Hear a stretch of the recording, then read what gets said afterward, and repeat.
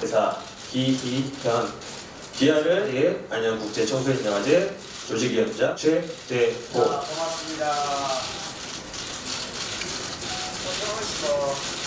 네.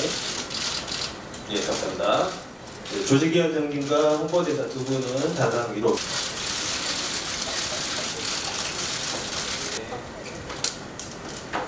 안양 국제 청소년 영화제 홍보대사로 참여할 수 있어서 너무 영광. 고맙습니다.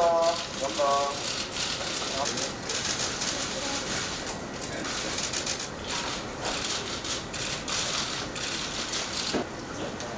이제 이상으로 제3회 안양 국제청소년 영화제 기자회견을 모두 마치고요. 예, 조금 발라 발 라가지고. 많이 많이 지켜봐 주시고요. 네, 여러분들 안양 국제 청소년 영화제 많이 놀러 와 주세요.